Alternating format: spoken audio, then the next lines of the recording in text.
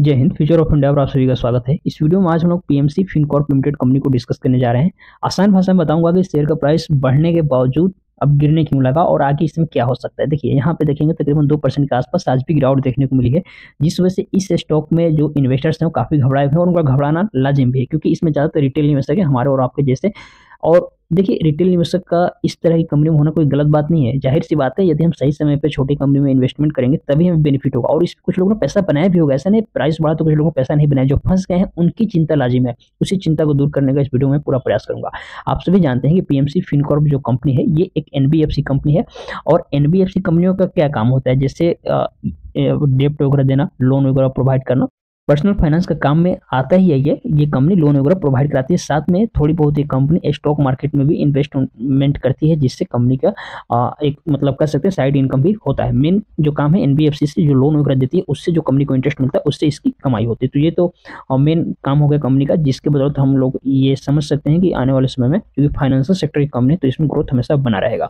तो सिर्फ़ काम के बेसिस पे इन्वेस्टमेंट तो नहीं करते हैं हम लोग। अब हमें देखना होगा कंपनी का फंडामेंटल तो उसके लिए चलिए सबसे पहले देखते हैं कंपनी का मार्केट का तकरीबन डेढ़ सौ करोड़ के आसपास कंपनी का वैल्यूएशन है, जो कि काफ़ी बढ़िया है और शेयर प्राइस देखेंगे तो इसका जो शेयर प्राइस तीन रुपया, इसके बुक वैल्यू से भी ज़्यादा है। यानी कि यहाँ पे दो चीज़ हम प्लस पॉइंट मिल गया। एक तो मार्केट कैप सौ करोड़ से ऊपर है पेनी स्टॉक में होने के बावजूद, और शेयर प्राइस भी ठीक ठाक है, और बुक वैल्यू से अधिक, ये भी बढ़िया बात है। और सबसे बढ़िया बात है कि स्टॉक का पी काफ़ी कम है।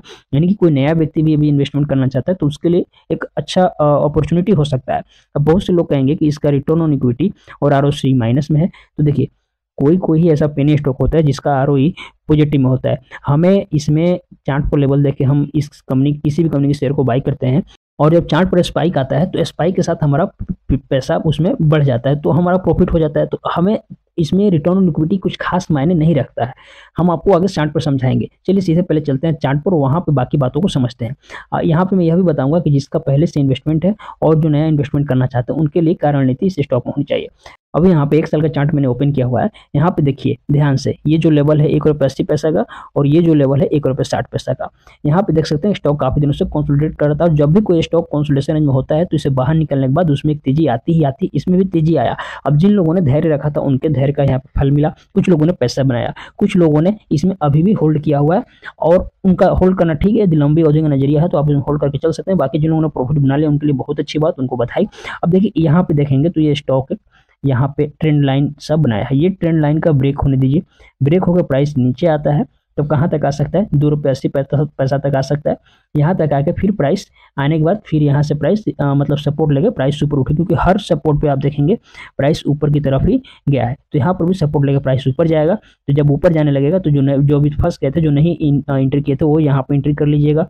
थोड़ा बहुत कुछ लोग एवरेजिंग करना चाहते हैं तो वो भी आप यहाँ पर एवरेजिंग कर सकते हैं। तो नए और पुराने व्यक्तियों को क्या करना है? मैंने यहाँ पे क्लियरली बता दिया है। स्टॉक का प्राइस देखिए लंबी अवधि में और भी ऊपर जाएगा। यदि आपका नज़रिया पाँच साल, दस साल का है, तब तो कोई बात नहीं है। तब आप बेशक इसमें बने रहिए होल्ड कीजिए।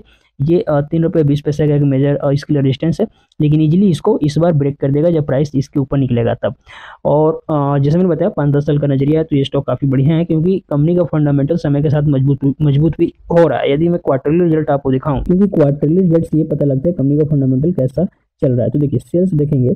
तो आपको देखेगा, दिखेगा पिछले कुछ क्वार्टर में कंपनी का सेल्स कंटिन्यूस बेसिस पे बढ़ रहा है सेल्स बढ़ रहा है। इसका मतलब ये हुआ कि कंपनी कमाई बढ़ रही है। जो ऑपरेटिंग प्रॉफिट है, यह भी देखेंगे तो बढ़ा है और ऑपरेटिंग प्रॉफिट के साथ जो नेट प्रॉफिट है नेट प्रॉफिट में मतलब ये होता है कि कंपनी का टैक्स देने के बाद जो प्रॉफिट बचता है, उसको नेट प्रॉफिट कहते हैं और ऑपरेटिंग प्रॉफिट मेन बिज़नेस से जो कमाई होता है, उसको कहते हैं। देखिए, ये रिज़ल्ट देखिए सबसे लास्ट वाला क्वार्टर का जो रिज़ल्ट आया है, काफ़ी ज़्यादा इसमें कंपनी का नेट प्रॉफिट बढ़ा है। और अभी जो कि दिसंबर क्वार्टर के रिज़ल्ट आने वाले हैं, इसके बाद भी जो क्वार्टर्स के रिज़ल्ट आएँगे, उस पर भी कंपनी का आप देखेंगे सेल्स और कंपनी की कमाई बढ़ती हुई आपको दिखेगा।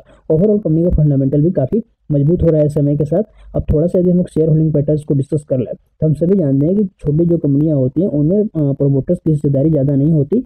तो एज यूजल इसमें भी प्रोमोटर्स ज़्यादा नहीं है। ज़्यादातर शेयर इस कंपनी के पब्लिक के पास ही पड़ी हुई है, जैसा कि होना भी चाहिए। ठीक है, कोई बात नहीं।